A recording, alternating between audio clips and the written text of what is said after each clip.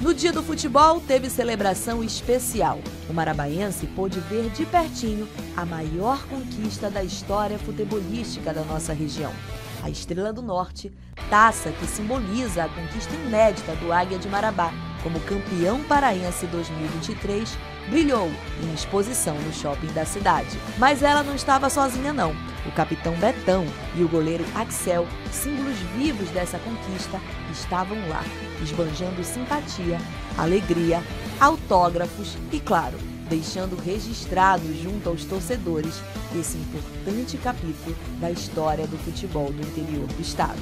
Camisas, bandeiras e outros objetos que remetem ao futebol e especificamente ao Águia estarão expostos até esse domingo no piso L3 do Partage para visitação gratuita.